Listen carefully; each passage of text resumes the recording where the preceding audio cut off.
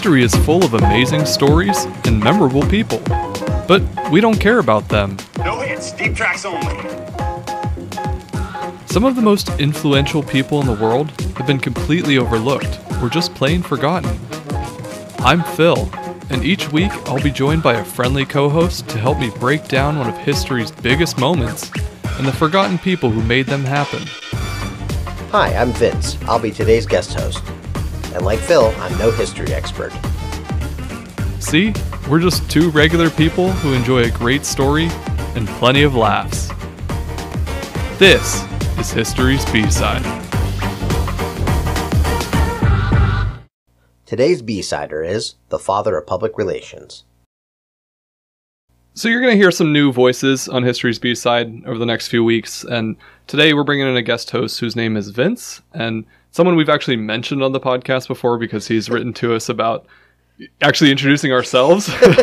yeah, first first episode ever. I was like, introduce yourselves, guys. You need to know who you are. we always thought we just weren't important enough to uh, be up there with the ranks of history's most influential people, and it doesn't really matter who we are. But uh, decided to bring Vince on because I know he's a he's a good friend of ours and he's a history fan himself. So yeah, thought he would have some good input for us, and he'll be with me for the next couple episodes that we do here, and then. Uh, who knows? Maybe in the future, Vince will be back around for some more. Yeah, definitely. I'm looking forward to this. This should be fun. So, do you want to kind of tell people a little bit about yourself and yeah, why um, you're here? so, like I said, like Phil said, my name is Vince. Um, I was born here in Boardman. I'm in the same uh, area. I was actually four years older than Phil. I was his section leader in high school for Another trombone. band person. Another band person. Yeah, that's uh, where I met my uh, met my wife, and uh, she is actually in Phil's grade. So we started dating after I uh, after I graduated from from high school, and we've been married about four years now, going on five uh, this coming year. And I currently live in Dayton. I work at a local community college down there as an academic advisor and I've been there since 2016 in various positions and I love history. I was my undergraduate was sport business and my I got an MBA from Youngstown State and my undergrad was Mount Union.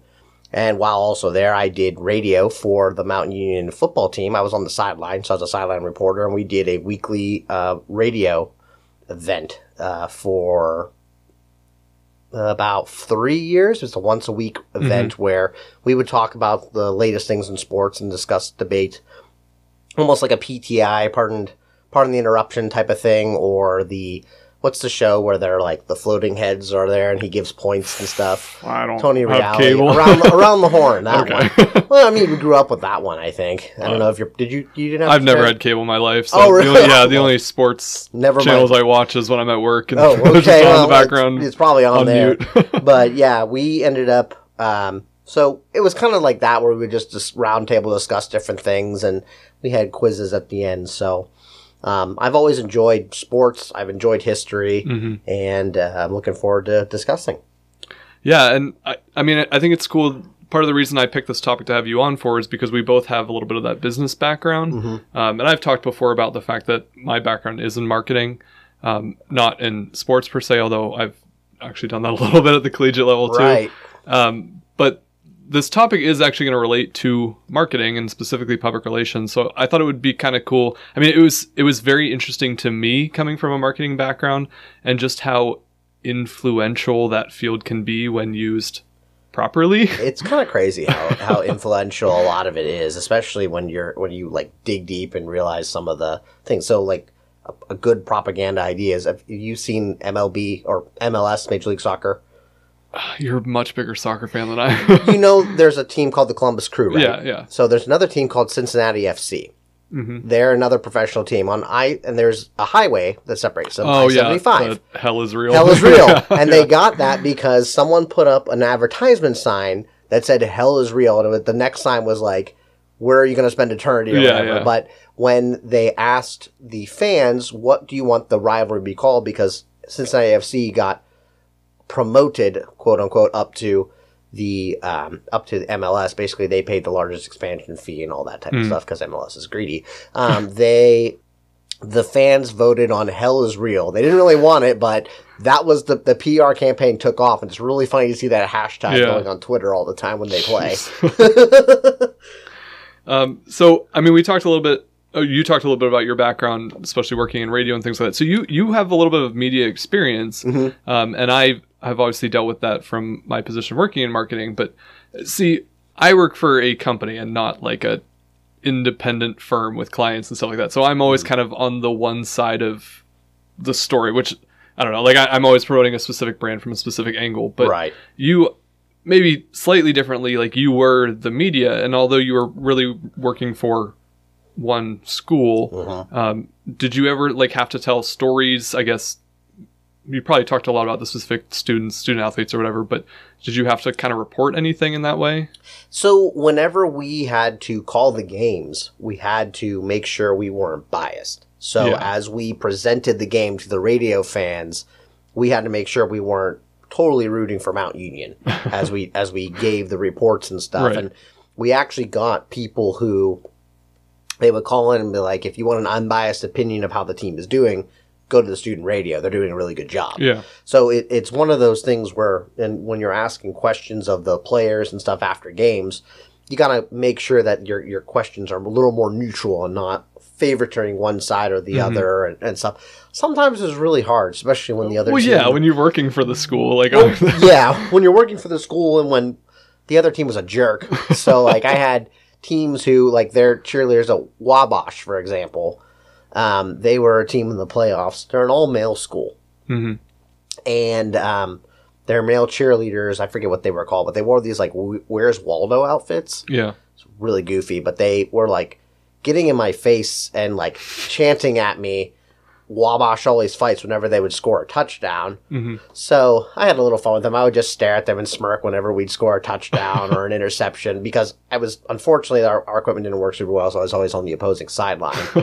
but it was always fun to get into whenever I could get to the Mount Union side and you could see what they get really mad just kind of sitting there and watching them. But I had to present it a certain way and make sure that I wasn't favoriting Mount Union stuff over Wabash, especially on the sideline when I need to find information.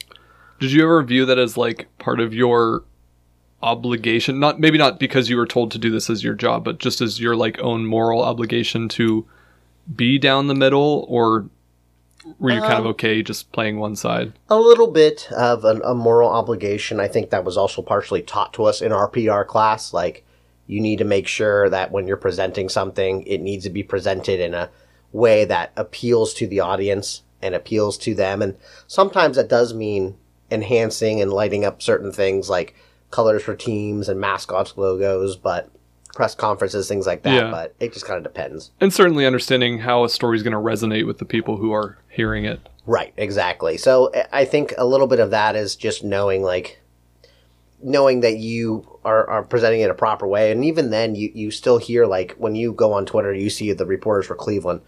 Most of the Cleveland fans hate them because they're they're either super negative or they do some sort of spin.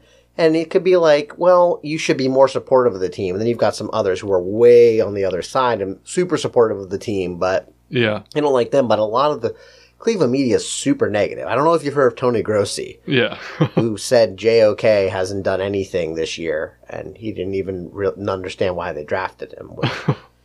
You're a media guy, and I understand you're trying to draw clicks by saying stupid stuff, yeah, but so there's that moral obligation of, I guess the moral obligation comes down to what what helps you the most. right. Cleveland media's decided we're going to be the heel for everything. Well, certainly what helps you the most is kind of like, I guess it's going to be the underlying theme of this episode today is like, obviously we're going to be talking about public relations, the way that stories are told, the way that they can be spinned in a certain way. Um, and spin is like the, the negative word when you're talking about public, public relations. Like you never want to use that word, even though No. it's really kind of your job. Right. And that's, I mean, that's kind of what we're talking about today is like looking at things from a different perspective. So while it may be spin, you don't call it spin because that's a negative term. Or while you may be taking a certain angle to something, you never really go at it in that direct route because it's just not always the most effective way. It's it's how we can shape people to think and act in a certain way that's going to achieve our end goal. I think it's going to be. I think it's super interesting how that's even shifted today with um, social media because things are crafted Yeah. so differently and so open because everyone has it's either an echo chamber or it's a uh, description and if you're wrong there's it's a strictly drawn line. So how's this how does pr move the needle on, on even with social media interactions and today? a lot of times it's like lighting a match too because social media amplifies things in such a way that you never really know where they're going to end up. Right right. But the the guy we're going to talk about today obviously didn't have that benefit but it's interesting the way that like you and i maybe learned about public relations or advertising or whatever in class is all shaped by the actions of this person um, and i thought it was super weird that i didn't know his name like i went through business school and i took marketing and advertising and public relations classes and i Right. never heard this guy's name or if i did i just completely forgot about it because it wasn't told to me he was as important or it was one of those as he was. high level names that you heard because it's like oh he's this and it's a blurb in a book Right. that goes over whatever stuff so then you can move forward with whatever principles are being Right. taught So this is kind of a. It's probably going to be in a longer episode. Maybe not super in depth, I guess, but just because he did so much that we're only going to scratch the surface of it, and it's still going to be super dense. But um, I guess we can get right into it. I, I I'm going to start his bio even in the first half of this episode, just because. It, just what he did was so cool, and the way that he influenced his world and the impact it had on today's world, I think, is super interesting. And maybe that's just me being a little nerding out on the marketing side of it. That should be fun. I think it'll be interesting to see as, as I was looking at your uh, notes you sent me. I was like, page scroll, page scroll, page. I was like, okay, he did a lot of stuff. Like, Yeah. jeez. And some of this stuff you can still see reverberating even from when we were kids. Yeah, yeah, for sure. And like some of the brands that he worked for, the companies that we he worked for, like we will recognize them today. And you could go to the supermarket and find some of them there as well. Yeah. So this man's name was Edward Louis Bernays. He was born November 22nd, 1891 in Vienna, Austria, or Austria-Hungary at the time. Um, a year after he was born, his parents Eli Bernays and Anna Freud moved to New York City. Eli, his father, had been working as a grain exporter at the Manhattan Produce Exchange, so the family moved there to join him. But they moved to New York for another reason as well, which was to be closer to his uncle, a man named Sigmund Freud, who had begun to work there. That's funny. I think I've heard of him. Yeah, so he's someone who's probably not on the B side of history or psychology, I guess. Yeah. But you kind of tell that that was coming, you know, when you mentioned his mother's maiden name was Freud. Yeah. And especially when we're talking about someone who is going to kind of be focused on the way that people think and act, it's no surprise that he was a relative of Freud. I also didn't realize that Sigmund was in America. so So, I think at the time he he was starting to work in New York, but he also traveled a lot, so he didn't do the majority of his work in America. But I guess when when the Bernays family would have moved to New York, Freud was currently Got there. okay. yeah. I don't know a ton. Honestly, I don't know a ton about Sigmund Freud other than his very famous theory and his um, and that he was the father of psychoanalysis. I had no idea Yeah. he was actually here in America. Yeah, I mean he was he was very big in his time, and he's obviously huge in the field of psychology. So that's probably something that we could get into maybe on a future episode. Not him Not right specifically, but like yeah. yeah, Yeah. definitely someone in psychology because I think that's a super interesting field too, and it ties in so well to marketing as we will talk about Mm-hmm. on this episode.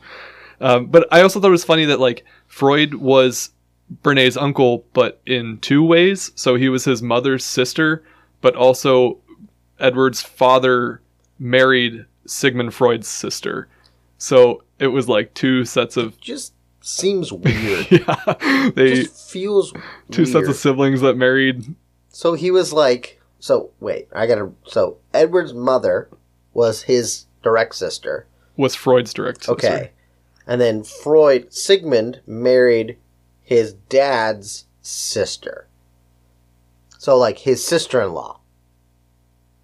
No. Okay, I was like, wait, Edward's mother was Freud's sister.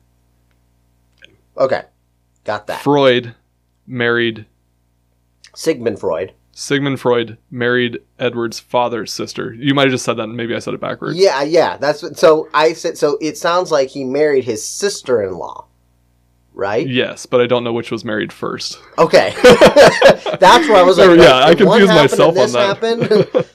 um, yeah. Anyway, not important to the story. I just thought it was funny Yeah. that Freud was his uncle two times over. Yeah. Sounds like that weird "I'm my own grandpa" song that people had years ago. Um, but yeah, I mean, like we said, Freud's understanding of the way that people think and behave would actually play a big role on kind of the way that Edward Bernays would one day shape this field of public relations, almost really introduce the field of public relations. Okay. Do you think Sigmund shared his theories with Edward? Almost certainly, at least he would have been very familiar with his uncle's work. Um, I don't know how much they necessarily worked together. There, were- there were times that we're not going to talk about because it's not the most important part of Bernays' story, but there were times that he did actually work for his uncle, but certainly just his uncle's understanding of the way that people reacted to certain information or the way that things were portrayed led a lot to how Edward approached his clients' problems and how he could kind of shape public perception in certain ways to act the way that he wanted them to. That makes sense. So Edward graduated from high school in New York at age 16.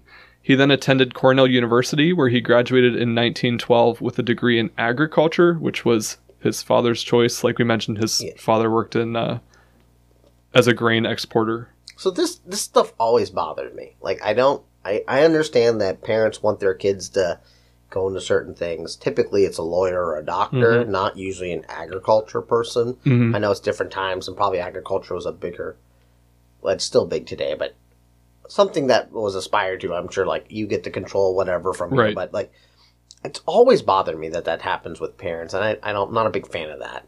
Uh, I mean, I think at this time in history, like it would have been a lot more common for people to follow in their parents' footsteps, especially when you have like a family business. And the Eli Bernays did not have a family business, so it wasn't something like he expected Edward to take over for him. But it probably wasn't that uncommon for you know kids to follow in their parents' footsteps just because that's what they what they knew growing up. Is there a specific reason you think his dad wanted him in agriculture? Is it just because he was in it or Yeah, I mean that's what his dad did. He was a grain exporter, and probably, as we'll see, like Edward kind of tried to follow the same the same path until eventually he found his true calling. so when he graduated from Cornell, he did begin working for the Manhattan Produce Exchange along with his father. He also simultaneously served as a journalist for the National Nurserymen, and then became a co-editor for the Medical Review of Reviews and the Dietetic and Hygiene Gazette. And all these jobs all took place within the year 1912. First of all, graduating at 16 is impressive, and then doing all this in 1912. I mean, that's a busy year, even for a normal standard of somebody. Yeah, different Really times. busy. I mean, it wasn't like all these were 40 hour a week jobs, and Fair, although some of them like- probably were more. right? Yeah, but but yeah, no 40 hour work week at this point, no labor unions. Yeah. So like, still though, you're doing all that work in one year. That seems super busy for a kid who just graduated. I mean, Cornell's no, you're not gonna be no slouch to go to Cornell, but different times too. I mean, most people didn't go to college, and so he was probably older getting into the workforce at that point. true. While he was with the Medical Review of Reviews, Bernays wrote a positive review of the play titled Damaged Goods. And this play was an English translation of Les Avaries by Eugene Brieux. This play centered around controversial topics like venereal disease and prostitution. Oh, But- boy. Bernays described it as, quote, a propaganda play that fought for sex education. He wrote to the actors of the play stating, The editors of the Medical Review of Reviews support your praiseworthy intention to fight sex pruriency in the United States by producing Brieux's play Damaged Goods. You can count on us for our help. The medical review of reviews sounds super pompous to begin with. I'm reviewing your review to make sure this review is good. Also, what is sex pruriency? Uh, it, it'd be like, uh, I mean, America has pretty much always been one of the more Puritan countries. Yeah. I think you know Yeah. compared to France, where this play was adapted from, they're a little bit more liberal in Just a smidge. sexual topics. Just a smidge. so just kind of the idea that um, in America they would have viewed this type of play with these themes as very taboo, and this play was putting it all out there for people to kind of see the realities of what people might be going through. Oh, I bet that went over super well with the uh, with the with the common folk. and the conservative views. Well, to help the play get along, Bernays established the Medical Review of Reviews Sociological Fund Oh boy. and began to solicit endorsements from from important public figures of the day. People like John D. Rockefeller, Franklin and Eleanor Roosevelt, Reverend John Haynes Holmes, who was a name I wasn't familiar with, but he was one of the co-founders of the American Civil Liberties Union, um, the ACLU, for people who know it better by that is abbreviation. Holmes African American or is he white? I do not know. I'm just curious. Just curious because um, I feel like he's like he's obviously getting high society people, but I'm wondering if he's trying to pull from all segments for this type of thing. Uh, I'm not sure, but I mean, you have to think based on how we view the ACLU today that they would have been in support of this type of play, Right. regardless. Oh yeah, yeah, definitely. yeah. he also garnered support from people like the Vanderbilt family, so just another wealthy family that would have had a lot of influence on the public view of the day. With Bernays' help, damaged goods became a success when otherwise it might have been condemned for the taboo nature of its topics. And Bernays had now found his true calling public relations and propaganda. and he would leave the agriculture business for good. So how did Dad react to this? You know, I didn't find that anywhere, but I have to imagine that he probably was in support of it. Like, clearly, it's something that his son is good at. Maybe I'm I'm portraying. I, I think you're, you're putting 20th Yeah. century, 21st century parenting here. I'm thinking of Eli Bernays as a supportive father. Yeah, it'll who- be fine. yeah. I'm pretty sure. He, I feel like either he was really upset, and then his uh, uncle, dad, sibling Sigmund came by. Was like, no, it'll be fine. So I wonder if that. I wonder if there was a lot of dynamic in there. Like, did he talk to his family afterwards? Was he still on good terms with them? I don't know. I think that might be speculation. Like either, I mean, either way, I guess it's speculation because we don't really know. But I have to think that someone from, let's call it higher society, because they're a family of academics, Mm-hmm. um, probably was okay with him doing something that he was good at. Like clearly, he had some talent in Yeah. shaping the way people think. And if he's going to make money, yeah, it would be help. lucrative. yeah, yeah. If he's going to make more money than he did as an agricultural person, it's definitely going to help out. for sure. So, I guess we'll take a quick break right here and then we'll get into the career of Edward Bernays and how he really started to shape the field of public relations and understanding the way that people think and behave. We'll be right back.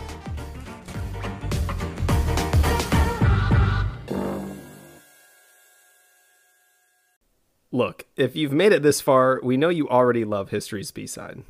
But seriously, we just wanted to take a minute to tell you some ways you can support the podcast on our website, historysbside.com. The first and most direct way you can support our podcast is by signing up for a membership. You can join at any monthly contribution level, but we suggest $10 to start. Though, please feel free to pick whatever fits into your budget. A membership will get you access to monthly boneless episodes, show notes, future episode cues, surprise gifts, and more. We also have on there our merch shop, which includes things like t shirts, hoodies, hats, drinkware, bags, stuff for adults, kids, and dogs, so you can rep your favorite history podcast everywhere you go. You'll also find extras, including free stickers, bookmarks, and postcards. You can suggest an episode topic, or submit a question about the podcast, one of our episodes, or even about us. That website again is historysbside.com. And now, back to the episode.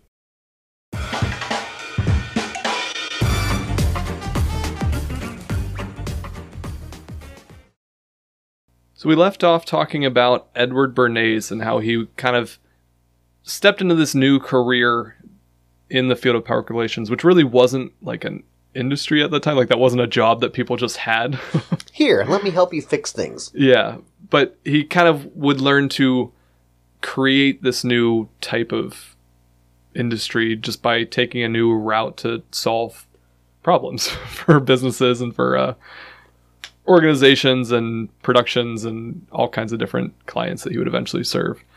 But he began his new quote unquote career as a press agent for other stage plays, performances, and even some popular entertainers of the day. So he actually like worked for celebrities. So, is that was that a very specific angle for him to start of? Because he knew, like, hey, they're big names, and let me get in to manage an image. I think it was probably just more a stepping stone from the success he had with the damaged goods play. Got that it. like people knew that he could do that for a play, so it leads into You fix this Other- weird sex play. yeah. you can fix me. other similar clients, and that would bef- be before he really took on any kind of like any client who would reach out to him. When World War One broke out, Bernays tried to enlist in the army, but he was rejected for having imperfect vision. So that would have been me. Uh, I got glasses. I've had them since I was like fourth grade. But I also would have been excluded for flat feet I at don't one point. even know what that means. So apparently, like, so my I have no arch in my foot. Oh, So my feet are flat, and apparently that would have excluded me from joining the army at one point. because you can't run, you'd fall over. I have no idea what the reasoning was. I do know that like if I stand a lot, my feet do hurt, yeah, but like they are like there's no arch whatsoever. So sometimes when I put on shoes, like the arches kind of hurt, so I have to like find a shoe that doesn't have a weird arch to it. but so yeah, that would that was for the longest time. People who had flat feet couldn't get into the couldn't get into the the stuff. Do you know when they changed all that rulings, all that stuff? no, I mean I'm sure there's like a lot of restrictions on things today, even still. Like maybe not as much, but I'm sure there's certain things that would Well, disqualify you. bone spurs Yeah, disqualify you, uh, for, apparently. But um, um, but yeah, I flat feet is now you can still serve if you have flat feet. You can serve if you have glasses. I'm just assuming that you can't serve in a specific capacity. Well, there you go. You're not that old. You can. Yeah, you want to see uh, you want to see anger going on. Uh, my my parents would not be super thrilled if I was like, you know, what, I'm gonna go join the army. Neither would my wife, I don't think. Yeah, they probably they not. uh, they wouldn't want me being shipped off somewhere, and plus, I don't think I do super well in the uh, army camps and stuff. I was I wa- I was a Boy Scout and I'm an Eagle Scout, but I was not great at camping. Called myself the bare minimum Eagle Scout. I got ten days, ten days, of, got my ten nights of camping or whatever it was to get my merit badge, and I was like, I'm done. But it always snowed or rained whenever I went. I think weather hates me, so I wouldn't have been super good at the whole training thing and not talking back to the uh, um, commander. Yeah. Would have had a problem with that. Well, getting back to Sorry, we can You're delete. good. we can delete all of Nah, that. you're good. getting back to Edward Bernays, um, instead of joining the army, he applied to join the United States Information Agency, and he described this agency as quote the first time the United States was to use ideas as weapons to win a war. So it was kind of like a new tactic for approaching battle at this point. Like they. It, the, the key word that we're going to talk about in this section is propaganda. Okay, because I was going to say, like, wouldn't Washington using spies and and crossing at night and using Yeah, like, so- non-regimented tactics like consider ideas as weapons for war? No, ideas as weapons is not so much like strategy, like military strategy, as it is just using public perception to Got it. kind of shift ideas or support sense. behind war, things like that. And that's not just in your your own country, but in some of your foreign countries as well. Right. Um, and propaganda is a term that's we're going to talk about this later on, of course. But propaganda is a term that's associated a lot with World War II, especially the Nazi Party, Mm-hmm. um, and that's kind of why it gets that bad label. Yeah. Um, but this was the first time that it was really a big part of the American strategy was using propaganda in World War One. But of course, because it's an American tactic, it's a good thing, and mm-hmm. we are in favor of it. When, So it, when it works for us, everything's great. Right. So when Bernays was accepted to this USIA, the United States Information Agency, he was actually the first and only person on staff that had any experience working in publicity or press, which was just his, experience working in stage plays and say, entertainment industry. not a ton of experience, right? yeah, but like we said, this isn't really like a field yet. Like public Right. relations is not a thing that businesses used until Edward Bernays came along. So his job with this organization mainly centered around promoting support for the war effort domestically and abroad. And at the end of the war, Bernays was actually invited to travel with President Wilson to the Paris Peace Conference, where he helped draft Wilson's 14 points to win the war, to win the morale of our allies, to win over the neutrals, and to deflate the morale of the enemy. I feel like there's missing a few like semicolons in there. Yeah, I think I copied that post or that quote from an article, and there should be like commas and stuff. There, there definitely should be. Like it sounds like he's just trying to repeat himself really fast and was Well, the the gist of it is that their their strategy to win the war was to win the morale, like to increase the morale of their allies, the countries supporting them, to win over the neutral countries, the, to get them on board with supporting their their cause here, Mm-hmm. and to also deflate and destroy the morale of their enemy nations Okay. as well. You just made it There's so three much parts simpler. to that. Yeah, yeah, So this was before Wilson's stroke, correct? yeah. That would have happened after World War One. Because I never remember if he had it like when he was working on the Paris Peace Conference and, and trying to draft his like League of Nations. Yeah. Or- So, for very loyal listeners of History's B side, that go Yeah. all the way back to our first episode. Um, I don't even know if we mentioned it in the episode or it was something that got cut out, but we talked about the fact that Wilson actually suffered from the Spanish flu while he was in Paris for the Yes. peace conference. Um, so, part of his like really bad health state at the end of his presidency stemmed from complications from that, as Yeah. well as like Because I'm pretty sure I emailed you that question after Oh, the yeah, episode. I was like, "Hey, wasn't it actually part of this?" And you were like, "Kind of. I think we had to cut that out." yeah. But Yeah. so this would have been prior to all that, of course. So was Ber- Bernays? Is that saying his name right? Bernays, yeah. Bernays, the main writer or editor of this of this 14 points. he would have worked with a team. They, Okay. Yeah, they had a team of writers and public, quote unquote publicists who um, would have put these kind of things together. Got it. While he was with this committee, he was criticized for his use of the word propaganda. And in a press release reported by the New York World, Bernays stated the quote announced object of the expedition is to interpret the work of the peace conference by keeping up a worldwide propaganda to disseminate American accomplishments and ideals.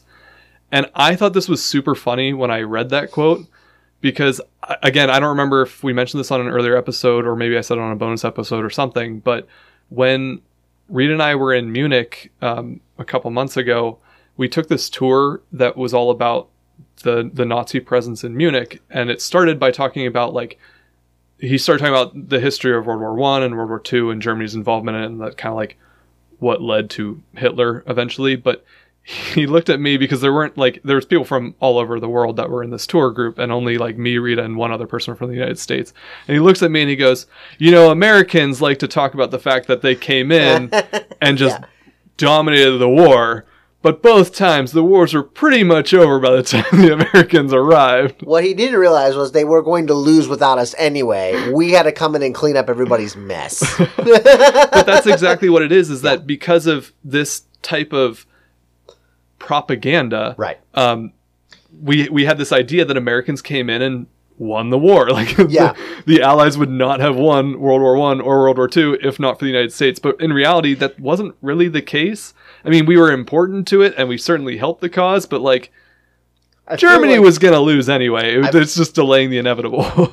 I feel like more for World War One that was the case. For World War Two, though, I really feel like I think what it came down to was the the nuke. Who developed the nuke first? well, you're thinking of the the Japanese side. That wasn't didn't Right, affect Europe but- at all. Right. I well, I guess what I what I mean by that is that Germany was developing that at the same time. Had they gotten that weapon first, from what I remember reading, they would have used it on us. Maybe that might be Or be maybe a, I'm thinking Man in the High Castle. So that might be a topic Amazon for episode. Yeah. later. So funny thing is when when you mentioned story from Mu's tour guide, I had these giant question marks. I was like, "What is he talking about? Some story from you?" So it's the thing you mentioned two episodes ago. Was Or it too? however- Yeah. Well, by the time this airs, it'll By be the quite a time while back. it'll be way back. Yeah, but yeah. From when I listened to it two episodes ago. Yeah. So, I mean, I thought this would be a good time because we we've kind of touched on a little bit the idea of propaganda as like a a buzzword that we view very negatively because Mm-hmm. Yeah. it's like generally we associate propaganda with things that aren't 100% truthful. But Yeah, it's propaganda is such a sticky word. That's the problem with it. and I think that's just from our our 21st century perspective of the fact that like we associate propaganda with what Hitler was doing in Nazi Germany and counter to that what the United States was doing to turn the war effort against Hitler in America. Right, and even people today though would say like even we were using propaganda for our own ends. A lot they view our propaganda. a lot- Some people view our propaganda negatively as well. Yeah, because we, I mean, the United States is just as guilty of it as any other country in the world, if not more so. Well, literally, yeah. so uh, we definitely don't think this is a slip up of the word. He intentionally used propaganda. Yeah, but I think it's just the idea that propaganda wasn't a negative thing, and it really it doesn't have to be. Right. As someone who works in marketing and like tries to use public relations to our benefit, like it's not necessarily a bad thing. It's kind of just tooting your own horn, but maybe in a stretching the Well, truth type of way. The funny thing too is that propaganda also literally meant physical things. So Yeah, I'm handing out propaganda to you. I'm handing you a flyer that has information Right. that I think you need to have. The problem is that we're associating this propaganda now. Like even the physical forms are bad things. Like when um, uh, the Red Scare was happening, for example. Well, but it's like you said, like the original version of it was just like information, mm-hmm. advertisements. But because those kind of got twisted to be not 100% truthful thing, we now associate this idea of propaganda as like a negative concept. Right. But at the time that he would have used it, it really wasn't like a a bad thing per se. Yeah. It was just a very it, I guess it would have been like the early version of public relations. Like because they didn't have this field of public relations, it was the idea of shaping ideas through you know, physical media, like actual advertisements basically. I really wonder how his uncle was like taking some of this stuff. Like he's like, "Oh, that's a great word. Like you're using this. How how cool with, Yeah. with like psychology stuff." yeah. I wonder how often he he talked to him about like, "I'm using this strategy. What do you think?" Uh, I mean, I didn't read too much on that, but I'm sure I'm sure they I mean talked a lot about his ideas of how you can shift culture and Yeah, hey, people are sheep. They're going to follow right. whatever you say and, And, do. and like you said, like propaganda is bad when it's used by somebody against you. hmm And we're also getting we also get mad when like other countries steal our stuff and we haven't given permission to do that. But we do the same thing. Yeah, exactly. But it's okay for us because you know we Good old to- American. Yeah, America. You know, but if you, I- I, I think yeah, propaganda is one of those words that you, you just have to like take a step back from and like view it from a um a, ten a thousand foot level rather than a Right. direct level because if you're I'm looking at it directly in the face, all I'm like is okay. I just see this word and it's bad. Right. It's like, well, no, propaganda is not that bad. It's you just gotta It's how we use it. yeah, using the correct context Yeah. when you're talking about it. Ultimately, Bernays' big takeaway from his service during World War One was that the tactics used by a country at war to turn public appeal in favor of war efforts, convince neutral parties to lend support, and to turn opinions against enemies could likewise be applied for organizations and people even during peacetime. Bernays spent the rest of his career as what he called a public relations counsel. He was available for hire by companies, organizations, and individuals to craft campaigns that shifted public opinion.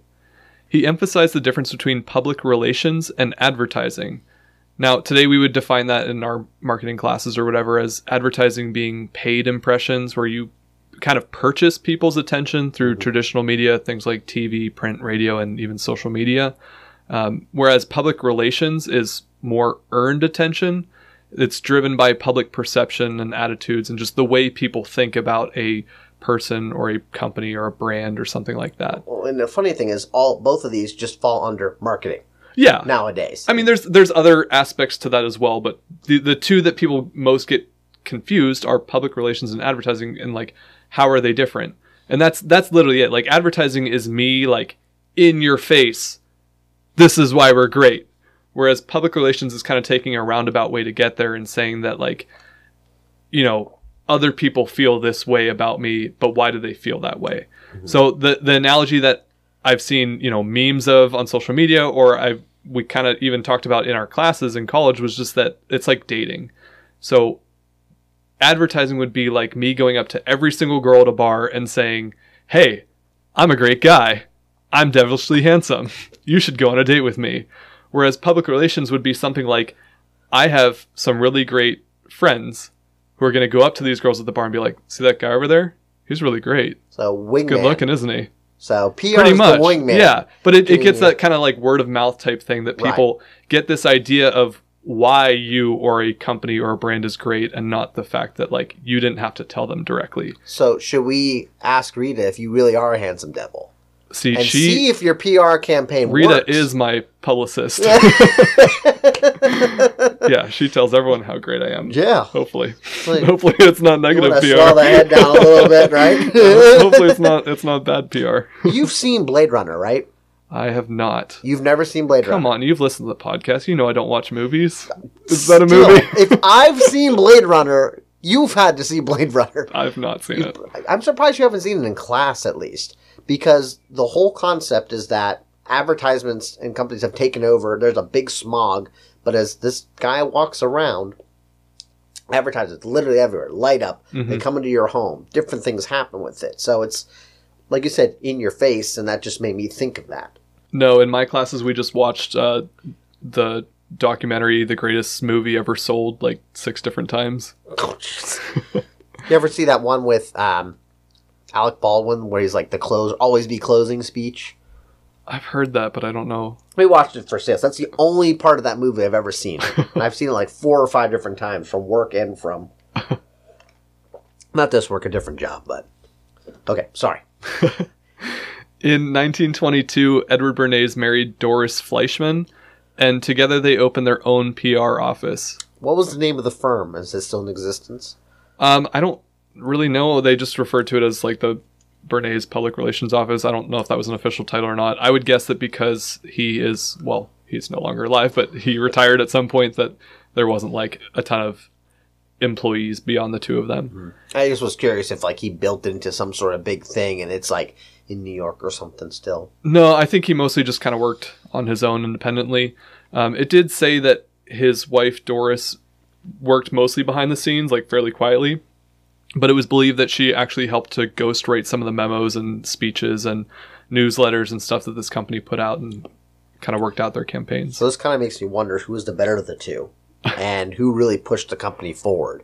You know, competition and all that. And oftentimes you hear like, oh, this guy did stuff, but it's really his wife that ran everything and she's the brains behind the operation. I mean, history would suggest it was Edward Bernays, but you never know. Behind every great man, it's not the There's a woman shaking her head, going, what did you do this time? Yeah. As an independent public relations counsel, Bernays' first client was actually the U.S. War Department, so had some familiar experience there. Um, they were trying to persuade businesses to hire returning war veterans, so that was obviously something that he would be able to fill the role and work on. You think he was hired due to working with Wilson? Uh, I don't know if it was Wilson specifically, but obviously his connection to that USIA department. As a public relations counsel, Bernays would orchestrate some of his most influential campaigns. And we're going to spend pretty much the rest of this episode talking about those specific campaigns. Um, it's not going to be entirely chronological. I'm going to talk about some of the bigger, more shocking ones, I think, first, and then also include some of the just more interesting stories, of course. He really did so, so much that, like, I couldn't even put all, like, come close to putting all of it into uh, this episode. But if if this interests you in any way, I definitely recommend reading up on him more because, like I said, this was someone that working in the field and like going to school for this type of thing, I was shocked that I wasn't familiar with him until I started to research this topic, just because. I'm really surprised that you guys didn't really dig into him more. I, so my degree wasn't specifically advertising and PR; it was marketing and management. But like, Right.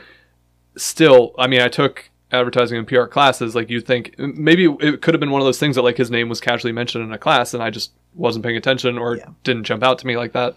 But I feel like if I would have heard some of these stories, like.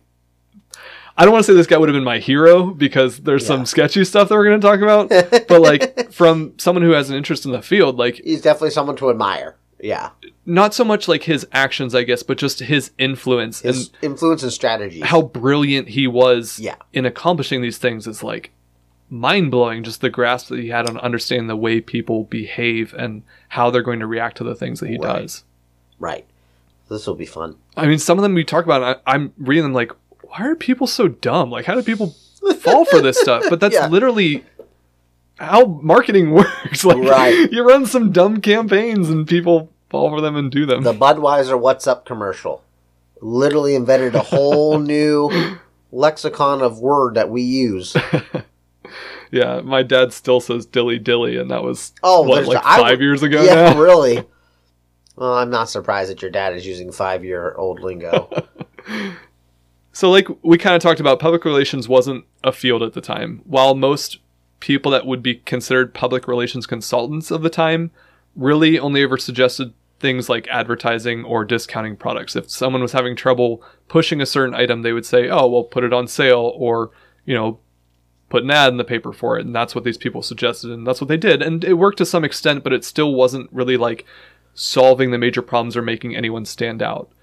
Bernays took a new approach to this problem by finding roundabout ways of meeting his clients' goals. Now, I'm guessing you're going to go into more about this, but the roundabout ways? Yeah, that's kind of like what we're talking about with with the difference between public relations and advertising. Like he wasn't, hey, buy more of this, buy more of this. It was, hey, this this is a lifestyle thing, and we're not going to talk about this product, but you're going to want it by the time we're done with this. Okay, that makes sense. Yeah. So the first campaign we're going to talk about, and this isn't like a huge thing to talk about exactly how he did it, but he was involved a little bit with politics, even beyond working for the U.S. War Department. But he aided Calvin Coolidge's 1924 presidential campaign by hosting these pancake breakfasts on the White House lawn, which kind of helped change public perception of Coolidge. He was kind of seen as very rough around the edges, I guess. He didn't speak much. Well, You heard the famous quote where a lady bet that she could get him to say more than Oh, three yeah. words, and his response was, "You lose." yeah. but uh, these these types of events, I guess, kind of softened his image and made him more likable, and actually led to him getting elected. He also assisted in Herbert Hoover's 1932 campaign by sowing disunity among his opposition, and he worked with William O'Dwyer in his New York City mayoral campaign in 1946. O'Dwyer. It's a very What a name! Irish name, Yeah. O'Dwyer. and like we said, these are only going to be some of the main highlights of his story. He was obviously involved in a lot more beyond just those, and that's just the political side of it. One of his most popular and let's call it deadliest campaigns, so we'll start to get into some of the bad stuff, um, was on behalf of Lucky Strike cigarettes. In the 1920s, it was considered taboo for women to smoke cigarettes initially when he was hired by Lucky Strike, they had a slogan that was "Reach for a lucky instead of a sweet." They they were trying to market to women. Yeah, that's interesting. Reach for lucky instead of a sweet, so Baking was obviously a very common women's role at the time, you know so they just sit around and eat bonbons all day, as my pretty uh, much. as my folks would say. so Bernays Bernays attacked this slogan by you know making it kind of front and center of their campaign. And what he did was begin to publish photographs of models wearing slender clothing, smoking cigarettes, publishing them alongside studies that showed the negative effect of excess sugar on the human body. So basically, if you smoke cigarettes, you'll be skinny. If you go for sweets instead, Hey, you won't be. We saw that in the '90s quite a bit, uh, in commercials. Yeah, so Bernays really kind of created this idea of sex appeal for cigarettes. You know, women weren't smoking before, but smoking could be sexy. It really could be going attractive. back to his very first uh, public campaign for that um, play, huh? He kept that in the back of his mind. yeah, I guess. He's like, these people will appreciate this. and this this campaign was successful, but it really only helped encourage women to take up smoking. But they really only did it within the privacy of their own homes. It still was kind of a social taboo. It wasn't really like necessarily accepted for women to be smoking in public. I don't think Lucky Strike cared as long as they got the money. Well, they did care. they they wanted to sell more cigarettes, so they had him work on it. Oh, sorry, I meant more that they didn't care if they were smoking in public, but as Well, long yeah. as they got the money, it didn't matter where they smoked it. Yeah, but if they were only smoking in their home, then they weren't smoking as much as they could be. Fair. yeah. So they hired him again to work on a new campaign for them uh, to encourage women to be seen smoking in public. And for this one, Bernays consulted psychoanalyst and actually partner of his uncle Sigmund Freud, a man named Abraham Brill, to understand the societal perceptions that kept women from smoking. Why not go to Sigmund? Probably busy, my hmm. guess. Here, Said, he's this guy's partner." smart. He can help you out. so Brill and Bernays crafted this idea that cigarettes were, quote, torches of freedom. What? it's a great, like, it reminds me of when we briefly rebranded, rebranded French fries as freedom fries. Oh. Or, yeah. but they were called torches of freedom because they were often smoked by feminists who kind of viewed them as a symbol of nonconformity and freedom from male oppression. So, cigarettes became sort of a feminist icon. Bernays also organized a women's march at the New York City Easter Day Parade in 1929, which was full of Lucky Strike smoking feminists. Imagine women aggressively walking around smoking. Like, I mean, it sounds ridiculous to us, but that would have been like a huge Yeah. sight at the time. Like that was something that you just didn't see anywhere. it's like Miley Cyrus coming in on a wrecking ball. Nothing you see every day. It's true. So local press caught photographs of these women smoking, and the popularity of Lucky Strike brand took off as a result. How many people you think have been impacted by this now? Since we now know smoking has its own dangers. Uh, a lot. I mean, if you want to talk about like Yeah. how much smoking has kind of infiltrated society, and it, it's obviously tapered off you- as we've started to learn the health effects of it. But You remember restaurants when Yeah. like you had the sm- Michigan still has that smoking and non-smoking. I hate going to states that have that. It just blows my mind. Like, so obviously it's worked. That worked super well because we we've seen even growing up. You know, I've seen commercials, see all that stuff Mm-hmm. what they've done. But like, I couldn't like looking back. I'm like, why did they ever have a smoking section? And that section was like never full. But even still, like people that do smoke, a lot of times you don't really look at like men and women smoking and think it's like okay for men to smoke and not women. It's just become people that choose smoking. Obviously, isn't as big a thing in our society now, but people that choose to smoke, you don't like. It's not acceptable for men and unacceptable for women True. anymore. It's just kind of like you either smoke or you don't. Yeah, But the fact that you know we've gotten to that point where it's not necessarily weird for women to smoke stems from Edward Bernays Yeah, shaping the pretty- perception of that. pretty impressive. One more campaign that Bernays did for Lucky Strike was in 1934, where they were hoping to boost the popularity of their Forest Green pack, which I think was just the color of the pack of cigarettes.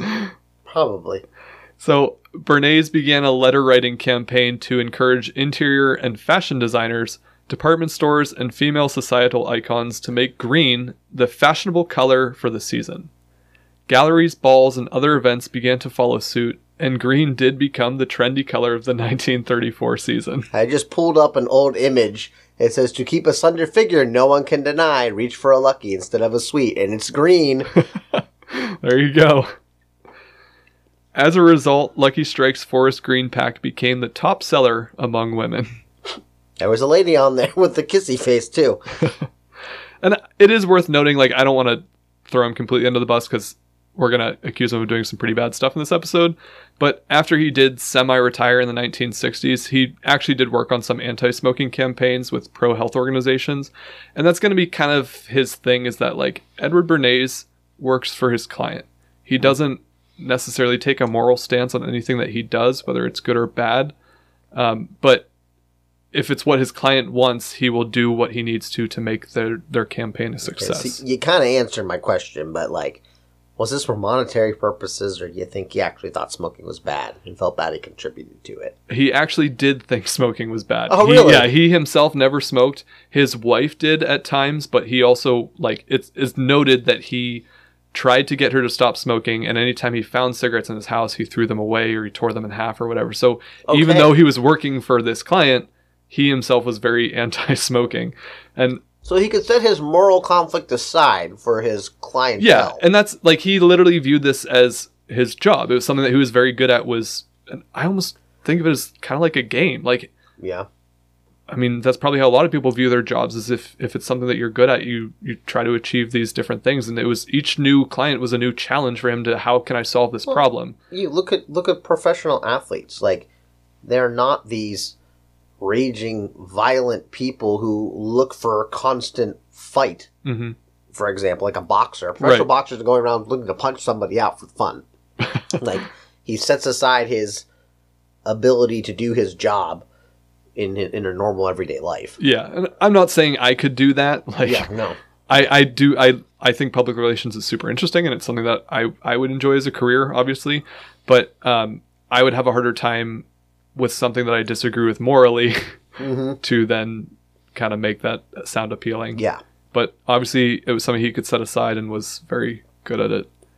And speaking of things that are setting aside morally, we're going to talk about probably his most notorious campaign now. Oh boy.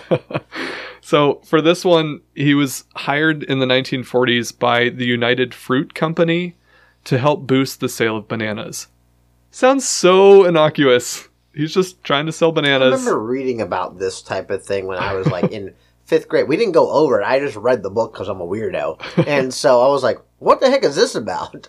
I I just loved like when I came across this. This was this story is what made me think like we need to include him in history's B side because you're like his most notorious campaign. Yeah, he was selling bananas. Simple enough. so United Fruit Company at the time and really still is one of the largest distributors of fruit in the United States. Today they're known as Chiquita Chiquita brands. I think it's Chiquita. Chiquita brands. Uh, Don't quote me on that because I'm terrible with names to begin with. So yeah, I might be me wrong. too. I think it is Chiquita though, and even if you're not necessarily familiar with the name, just hearing it, you've definitely seen it. Like go to a grocery store and look at the bananas. If they have a blue sticker on it with a woman holding a basket of fruit on her head, that's Chiquita. Mm-hmm. They're still in operations. They still sell bananas, and I don't know. Maybe it'll shift your opinion on what kind of bananas you buy after hearing this story. Well, the problem is they probably own the other ones that don't have a sticker on. Yeah, them, that's so. true. so his initial campaign was to help them link the idea of consuming bananas with good health. Vitamin K. Is that what it is? Oh, potassium. Potassium. Yeah. Yep. I've never heard it called vitamin, Vitamin K. K. That's what they promote. Yeah. Vitamin K and then potassium. He also used his connections to have celebrities photographed holding bananas, which I think is hilarious. Like just walking around town holding Well, bananas. it's like or- that Got Milk commercial where they have Yeah. the milk. So instead of the milk, they're just holding bananas But- hanging out, right? I don't. I don't view this as advertising. I think it was just like casual, like photographs that you'd see in a tabloid or in a Mm-hmm. newspaper somewhere. It just so happened that the celebrity was holding a banana. Interesting. He also encouraged hotels and other businesses to leave out complimentary fruit baskets, which were full of bananas. So, you know, you're putting them out there, and then people get a liking for them and get in the habit of eating them. really quick, you can delete this if you want this part. Is this the phrase where is that a banana in your pocket, or are you just happy to see me came from? I, I, I would be shocked. I wouldn't be surprised considering what he's worked with in the past, but This incident will spark a different banana-related phrase, but it is not that one. okay. Like I said, delete if not allowed. but I don't want you to get an E rating. He also created an organization whose function was to promote the image of banana growing countries in South and Central America. So he worked pretty hard. He realized that by showing these countries as, you know, good places where the bananas come from, that people would be more inclined to buy them. That's cool. In 1948, United Fruit ended this campaign that Bernays had been running for them, but he remained on as a consultant for the company, making over $100,000 a year. Holy crap! Yep, just As as a a, consultant, We're gonna in end up- 1948. We're gonna end this campaign that's going really well for us. We want you to stay on though. That's how important he was, and this was just one of his clients. Like he, This is a big client, though. right? Like, yeah, They're, I mean, they're they can afford to it. dominate the banana market. the fruit market, but especially bananas. Right, but especially bananas. Yeah. so Jeez. at this time, Guatemala had always been one of the most important producer companies for United Fruits. This country was poor and government was corrupt, so United Fruit was free to take advantage of lax labor laws and controlled much of the agricultural industry there. In 1950, Guatemala elected left wing President Jacobo Arbenz, who began to crack down on United Fruit and, con- and its control over the region. Great job on that name. I would have got it totally wrong. I think I got it right. I'm not positive. I mean, gonna go with yes. United Fruit assigned Bernays with the task of preventing Arbenz from enacting policies that would disrupt their operations in Guatemala, which I think is crazy that they were like, there's this government in South America that is like causing us problems. You're a PR guy, go stop them. Because that doesn't seem like a PR type job, but no, it seems very counterintuitive, and also it seems super illegal. well, I mean, technically Yeah, not I mean- illegal. The way you put it, like go stop them, like, but it makes me wonder, like, I think it, it just shows like what a problem solver he was that they were like, hey, fix this. yeah, we trust you to to get rid of the problem Yeah. for us. Yeah, that makes sense. So, Bernays' solution was to begin a massive disinformation campaign to attack the Guatemalan government by calling them communist. Oh boy. He flew reporters from major American media down to Guatemala, carefully curating their experience to portray it as a communist state. Their experiences were then reported to American audiences, creating the public perception that the Guatemalan government was communist and United Fruit was a good American company fighting against communist oppression. Okay, how do you carefully curate a communist experience. I mean, I don't have specifics on what he actually did, but obviously United Fruit has a lot of people in Guatemala, so they could kind of like control who these reporters would have interacted and made it made it look similar to what you might see or what Americans think they might see in a communist state. Jeez. It's not exactly like Guatemala was a highly structured country that you could like walk in and see that everything was organized and running True. smoothly. But I mean, it's something. It's one of those we would call it propaganda today. But the things that like North Korea shows their nice looking cities that are all completely fake because Yeah. you can only see them from a distance type thing. That's true. Yeah. So articles reporting these facts were then reported in the New York Times, the New York Herald Tribune, Time Magazine, Newsweek, and the Atlantic Magazine, which are, I mean, what four of those five I have heard of and are still major publications. Yeah, I think the New York Herald Tribune switched to something else. I don't know, but yeah, yeah, the Atlantic in particular is like it holds itself up to like a higher standard. Yeah, and these were all publications that, you know, fell for Bernays' tricks here. Wow. And it is important to note that these reports were entirely false. Arbenz government was not communist, but this communism was the great boogeyman that would spring the US government into action. Still a huge bogeyman today. Anytime something more liberal is pushed forward and government's labeled socialist, which can lead to communism, you see it on social media all the time. We don't want socialism because that leads to stuff. Socialism's never worked in any country.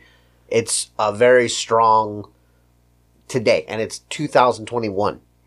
I agree with you, and I think you're 100% right, but I'm going to play the devil's advocate here and say Okay. that the, the opposite is true as well, that whenever anything on the right happens through, we start to argue that it's fascist, and That is true as well. That's just kind of a, a political. it just makes me it just makes that me chuckle because I think about the um you had the red I mentioned the red scare previously, but for those of you that know, the red scare was when one of the um representatives in our government was accusing people left and right of being communists and setting up a committee to get rid of communists. right. And The Rosenberg trials were a big thing of that. this was peak Cold War times. Like Americans and the government especially were very suspicious of the growing influence of communism. So to say that this country that we had we were getting a lot of product from in the United States to say that they were communist was like a big red flag little red flag to the US government Yeah, that yeah. they wanted to intervene. Jeez. At Bernays' direction, these articles were then distributed to every member of Congress and other important U.S. officials. In 1954, the CIA organized what's known as Operation PB Success. I read that. Don't as ask me where that name I, came I from. read that as PBS success, and I was like, public broadcasts. There was another. It was there was another operation that took place before this one. It was PB something else, but I can't think what it was. It didn't start with an S because I did the same thing. I was like PBS, but it was PB. The first one was PB something else, and I can't think of what the name of it was. But yeah, so th- this organization or operation, that they created was uh, PB Success, and in this, the CIA trained and armed a resistance group called the Liberation Army. Oh, I think I've heard of them. yeah, they they were just actors in Guatemala who actually organized a manufactured coup d'état that deposed Arbenz as president and essentially led to a 40-year civil war in Guatemala. Jeez Louise. Yeah. And there are some historians that speculate whether Guatemala was on a path to a stable structured government under Arbenz, but because of Operation but because of Operation PB success, it spiraled the region into I'm political go corruption. Prime Banana is what I'm going to go with. As what? Oh, what the PB. Prime Banana. Because it'd be something stupid like that. Well, haven't you ever had a peanut butter and banana sandwich? I have. I've also had a peanut butter and pickle. It's very good. That's disgusting. It's, I love pickles. They're delicious. anyway, Yeah. Regardless of what the long term implications of this were, it's pretty clear that Bernays' actions directly led to the U.S. government's clandestine plot to overthrow a democratically elected government. this has shades of the Monroe Doctrine all over this. And that was actually mentioned a lot when I read about this, that it had a lot to do with the Monroe Doctrine. Mm-hmm.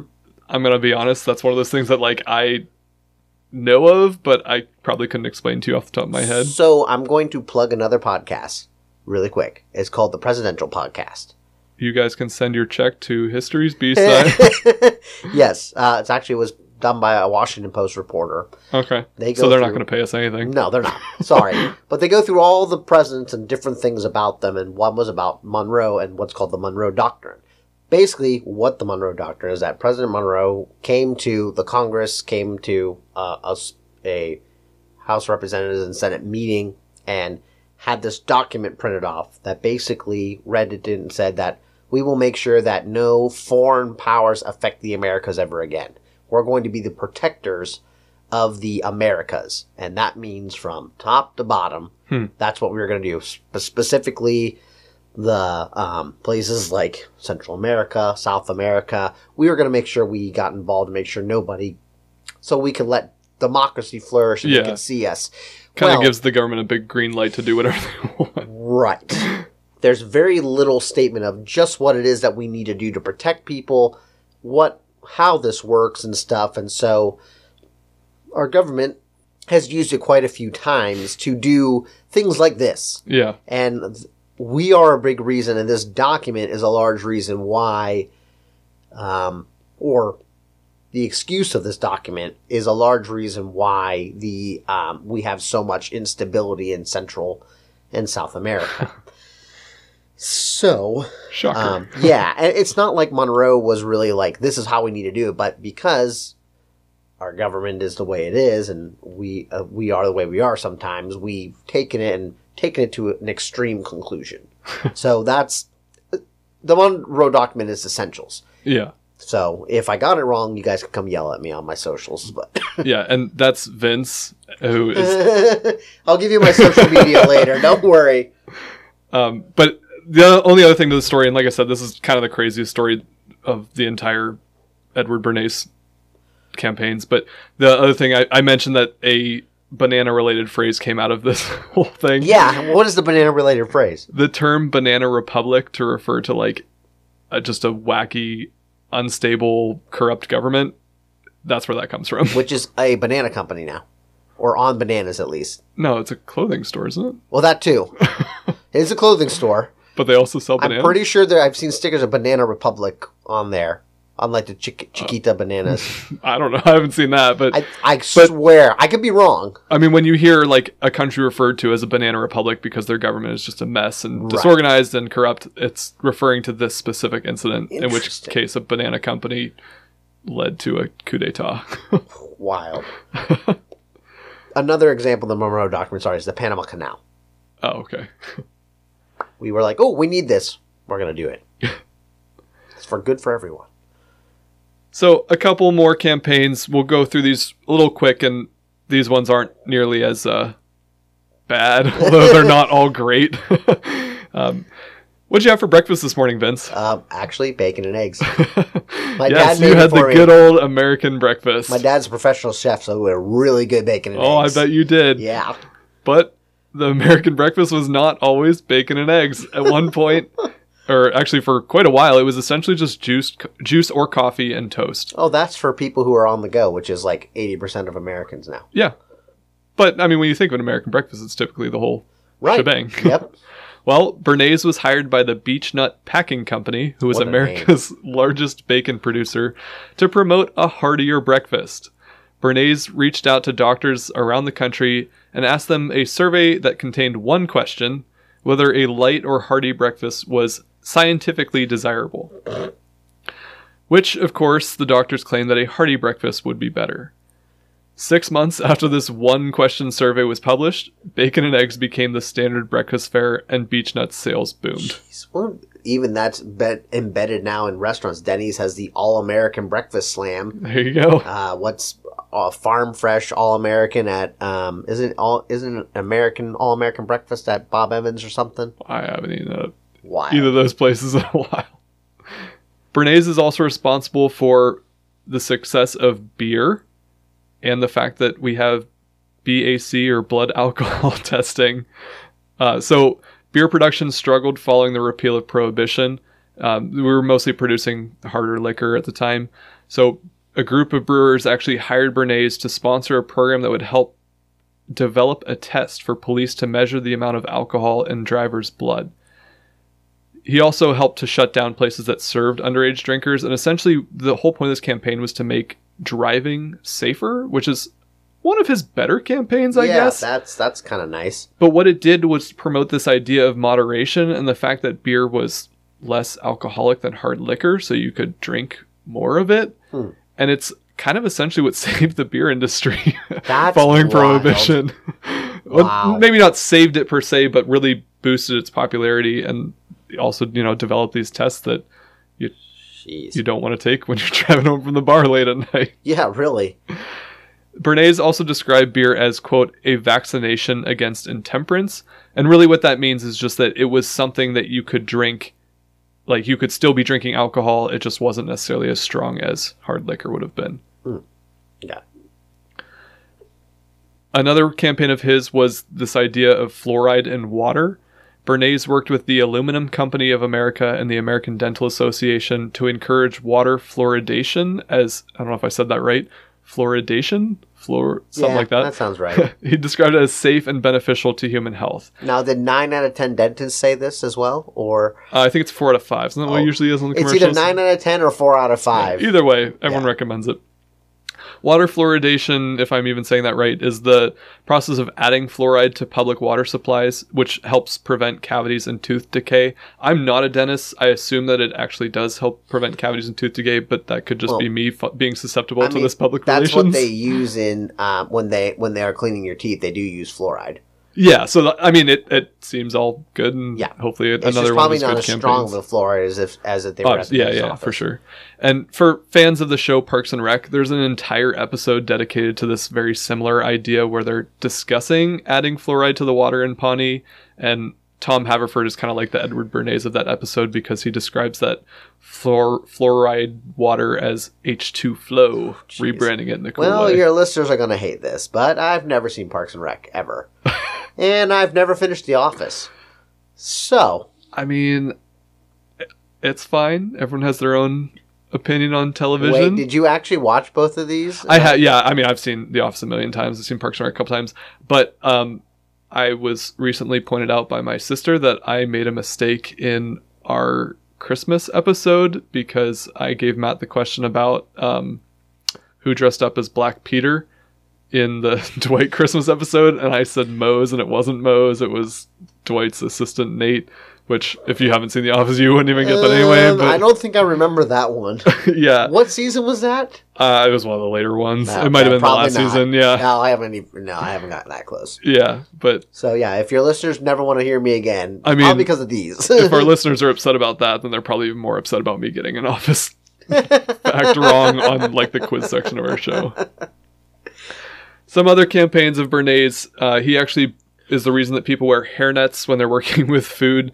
He was hired by Venida, which was a hairnet manufacturer, to convince women to grow their hair longer. That's what they wanted him to do was to convince women to grow their hair longer so that they would buy more hairnets.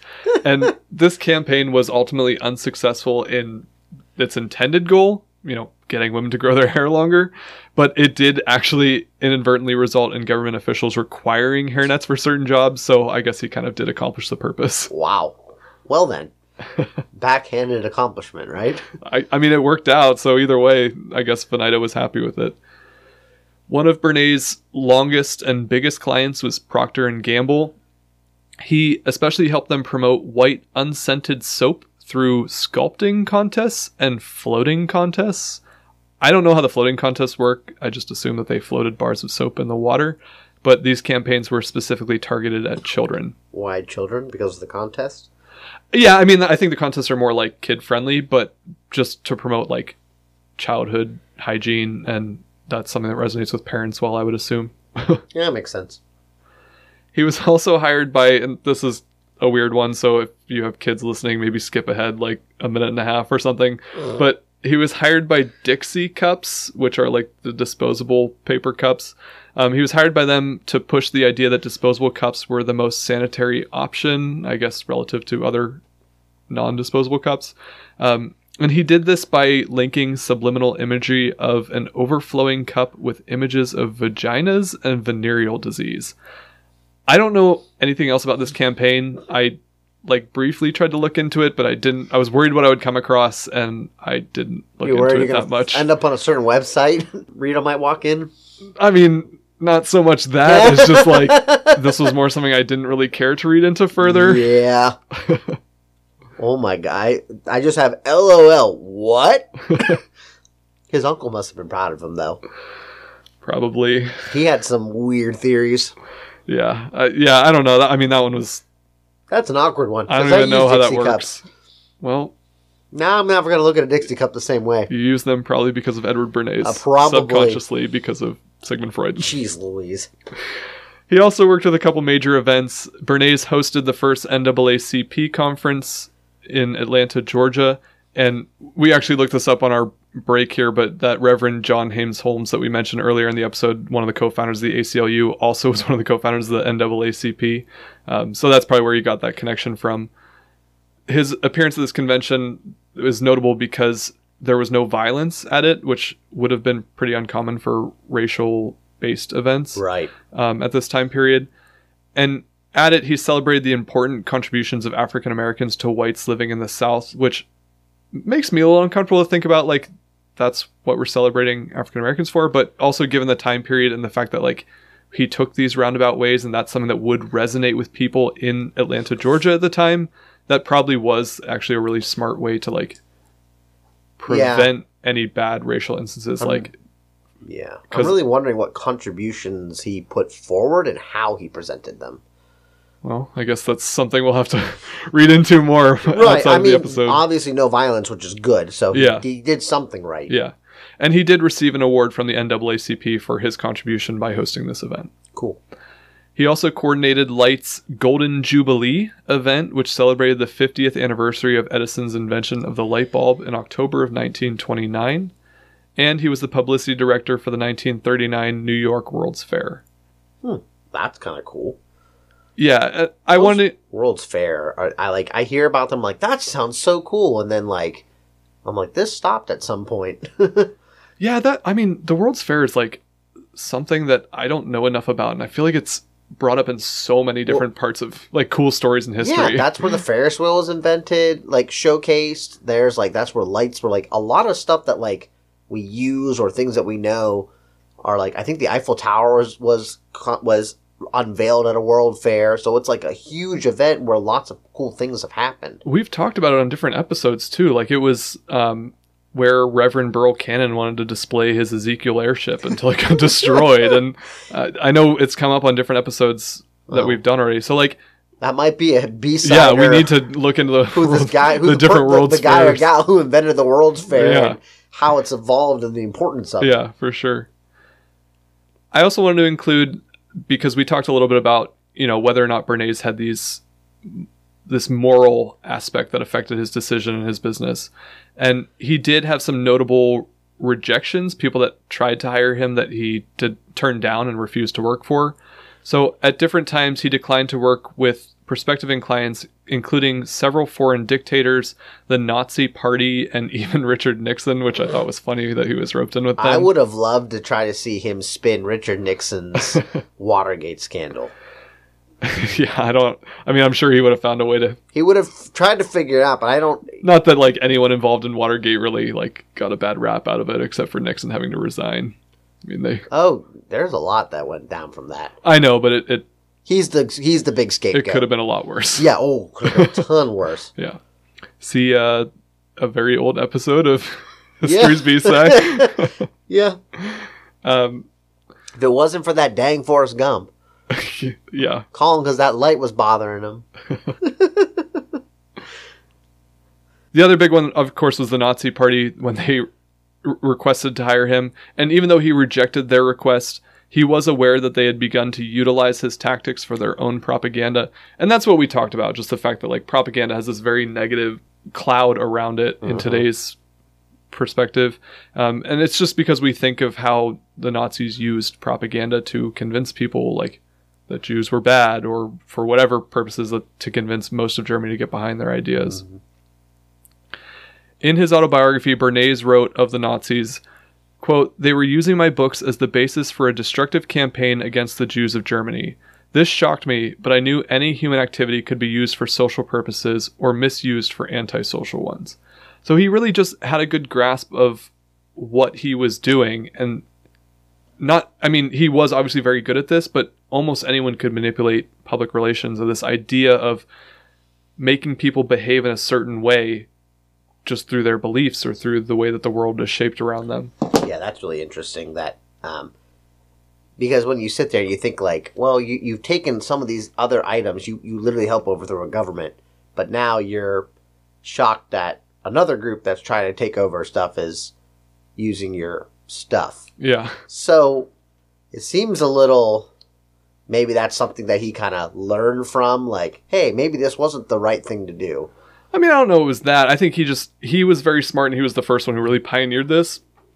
And he knew that people were going to take his work and kind of shape it and use it to their own purpose, mm-hmm.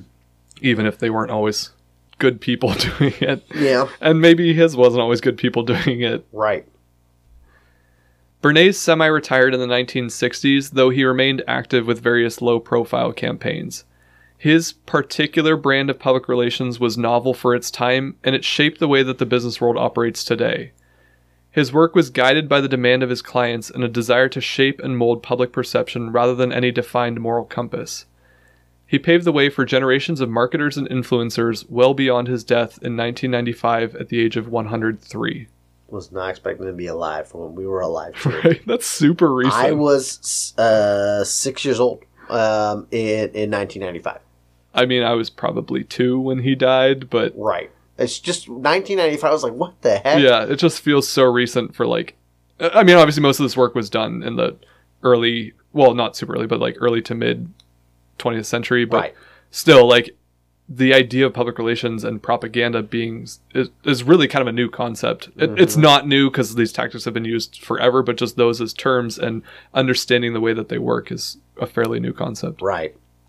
Bernays also wrote several books, probably too many for me to list and include in this this episode. Like I said, this is a big topic, and if you're interested in just kind of this idea of shaping the way that people think and behave and taking a roundabout way to get there, uh, it's something that affects us every day. Like you can't go anywhere without being inundated with advertising number one and that's kind of what helps this idea of public relations fly under the radar that you start to think and feel certain ways without even realizing it through these kind of actions but anyway the, the main book that he wrote uh, was called propaganda and this came out in 1928 so titled before that really became like a super negative term Right. but in this book he talked about you know the influence of what he was doing and he said quote the conscious and intelligent manipulation of the organized habits and opinions of the masses is an important element in democratic society.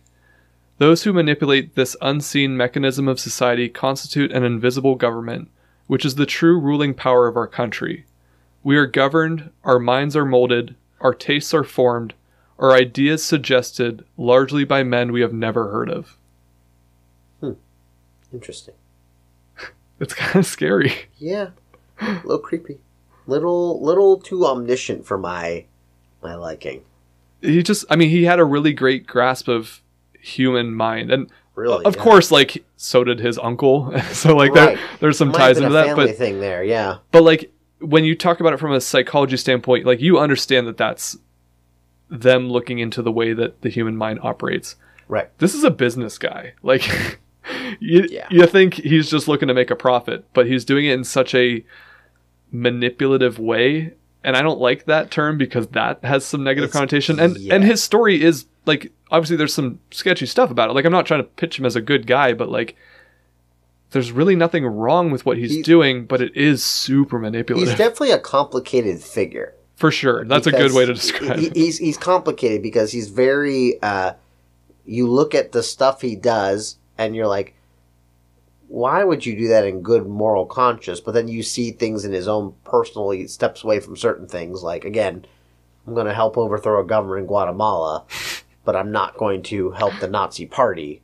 Like again, I'm not equating our our government to the Nazi Party, but again, it's I'm trying to take over something. I'm trying to take over something. I want your help. And from early on, he's like, okay, because I'm the consultant. You're paying me hundred thousand dollars. No, I'm not going to do this because my moral conscience says not to, or I'm already retired by that point, or Well, I mean, if put yourself in his shoes, if you were approached by the Nazi party or an innocent banana company, yeah, Also, Quotes around are you. American or are you? One's an American company, one was not. So I wonder how how much clientele he took outside of American companies. Yeah, I mean, it does seem like a lot of his clients would have been American companies, but uh, there's probably some bias in that as well. That it, he thinks it's okay for the, the U.S. government to overthrow a, a tiny country in South America, but or South Central America, but not you know help the Nazis. Right. Well, I think that about wraps up Edward Bernays' story, at least for this episode. Like I said, you could probably read a lot more on him. You might have to do another episode to go over more of his stuff. I don't think people want to hear me talk about this anymore. No more, please. so normally we end our episodes with a little quiz. Are you uh, prepared to quiz me? Ready. All right, I'm sure the, this. I'm sure these will be easy to you. We'll see though. this could be bad. we'll be right back.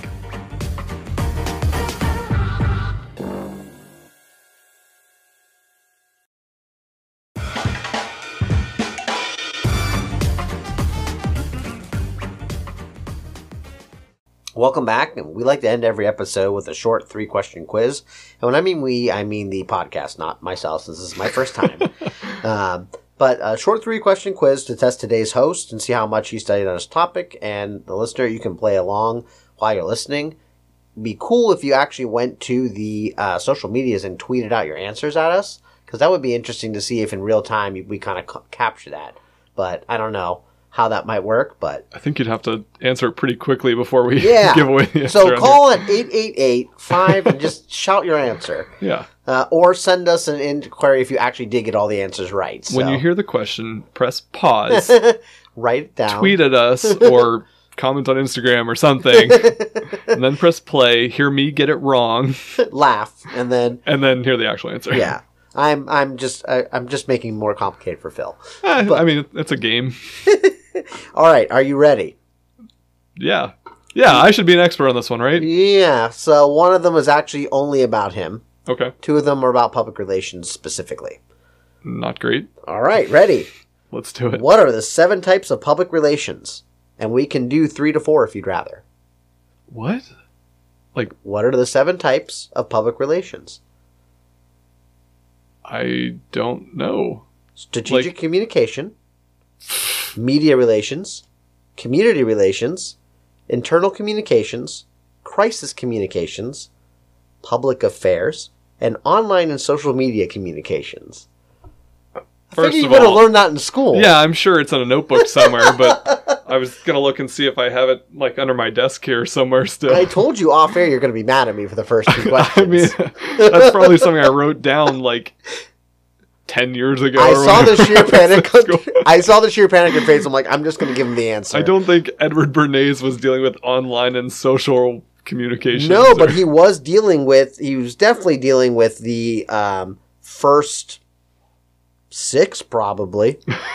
I mean, internal communications, crisis, public affairs, community relations, definitely. So which one of those is overthrowing a government? I would say crisis communications is See, probably. no, because that, more refers to like your client having a crisis. they were having a crisis that the government that's was. true. Yeah, messing with their production operations. I would say strategic communication is probably another one to help overthrow a government.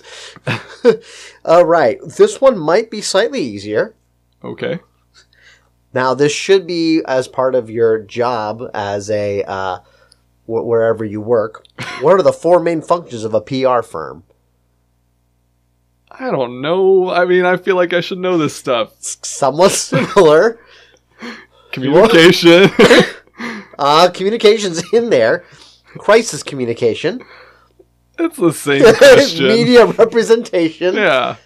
Content development and management. And social media management. I mean, I do all four of those things Yeah. under different names. so, I like I said, you're gonna get mad at me for the first two. I should also mention that I am not Edward Bernays. Public relations is a very small part of my job. Super small. Yes. So, Bernays wrote a book in 1928 about public communication, which you mentioned called propaganda. so, the original question was, what's it called? But it's already on there. So, can you guess the first two books that the propaganda came after? Like the titles of them? The titles of his of his earlier works. There's two of them specifically. One in 1923 and one in 1927. Oh no. I did actually read his uh bibliography or what do you call that? Like all the books that he wrote. Yeah, But uh bibliography is correct. it was pretty extensive, so that's why I didn't include it just to rattle off a ton of book titles. But Yeah. no, I, I don't know what it was. Yeah, this says some of his earlier works, such as Crystallizing Public Opinion, Uh, yes, 1923, and Public A Opinion. Public Relations Council, 1927. Self title is that like his autobiography? Uh, Although I don't think he would have written that in 1927. I don't know. Um, oh, bonus. Who was Bernays' un- unacknowledged American mentor, um, and his work, The Phantom Public, greatly influenced the ideas expressed in propaganda a year later. Wait, can you repeat that slower? The man who uh, was Bernays' unacknowledged American mentor, he had his, he had a book called The Phantom Public, which greatly influenced the ideas expressed in propaganda. Do you know the author? No, but this sounds familiar. Walter Lippmann. Wouldn't have got that. All right, well. So, This was not a good quiz for me. well, I will never be invited back after those questions. so it was great talking to all of you. and- yeah, that was that was not good. I feel like I might have done better if I was still in school.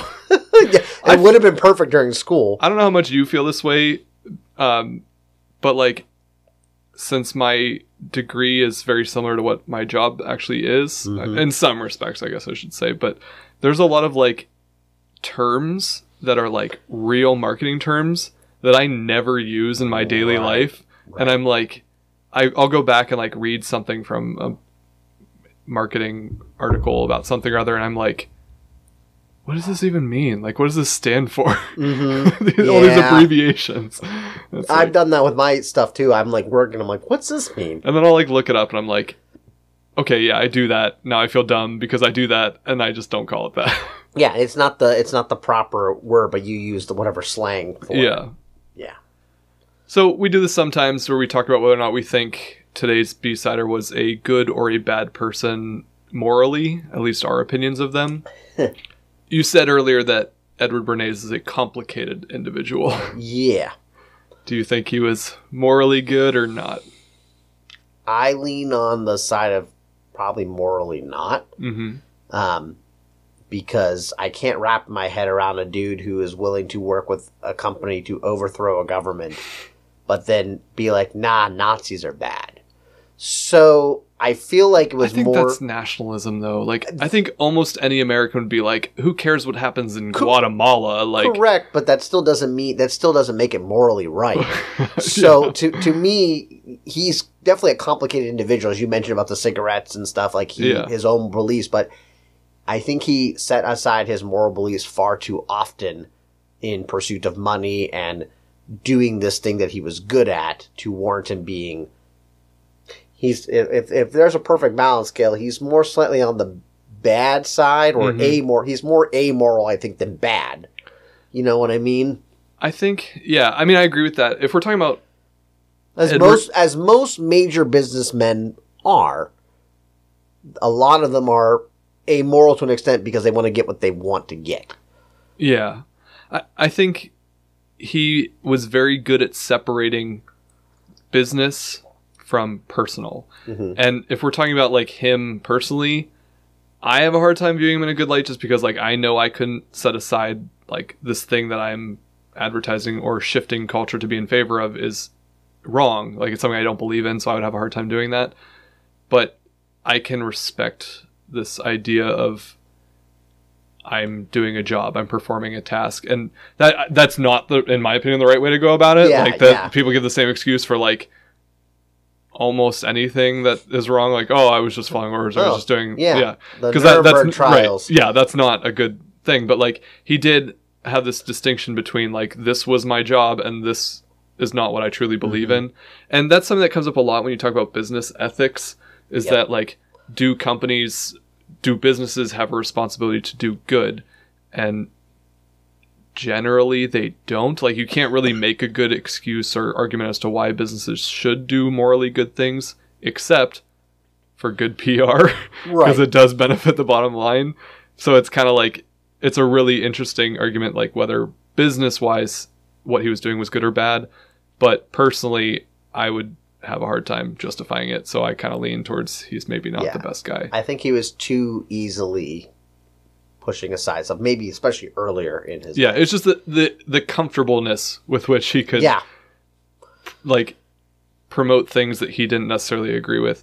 And I think uh, we we touched on that a little bit when we talked about Hiram Maxim. Obviously, you weren't on that episode, but Sir Hiram Maxim, who invented that gun, like the deadliest gun in history, was that he was someone who was trying to invent something that was good, and then it ended up, he ended up inventing a very destructive thing because there was money involved, or he had other motivations to do so, which we we knocked then. So I have a hard time like saying that Edward Bernays is good Just for because very like, similar just because you like the not the campaigns, but you liked how I just think he's it. fascinating. I just Yeah. think he's such an interesting story. So, yeah, definitely. I mean, maybe He's not for everyone, but yeah, yeah, definitely a cool story for sure. Well, I hope you guys enjoyed having Vince on this episode. yeah, I hope so too. maybe, maybe we'll uh, hear more from him on History's B side for sure. Uh, if you guys want any more from the podcast, please feel free to check us out on whatever social media platform you choose to use. Um, maybe you're already playing along with the quiz and hopefully doing better than I did. all those all those marketing undergrads. I hope you got those answers right, and I probably got them wrong anyway when I googled them. So Maybe uh, maybe this podcast will get cited in some marketing classes. that'd be great. we'll send it to some uh, PR professors. But you can find us on Facebook, Instagram, Twitter, YouTube at History's B Side. Um, you could also write to us if we got anything wrong or you found this particularly useful for your public relations final, your class marketing class. Good luck. I hope I hope we can help you get an A. Um, but you can email us historysbside at gmail.com um, or however you want to interact with us. We're not too hard to get hold of. But Yeah. we really appreciate you listening, and we will come back with more history next week. Yeah. Thanks again. This was fun. We'll see you soon. Bye bye. History's B-Side is an independent, listener-supported podcast. Leave us a review or subscribe to the show on your favorite podcasting service and follow along on Facebook, Twitter, and Instagram at History's B-Side. Send us your feedback or inquire about sponsorship and advertising opportunities by emailing us at podcast at historysbside.com. You can support the show by becoming a member or making a one-time contribution at historysbside.com. While you're there, check out our merch shop, extras, and more. This episode was researched and produced by your host, Philip Hall, and my co-host today, Vince Colati. Thanks for listening to History's B-Side.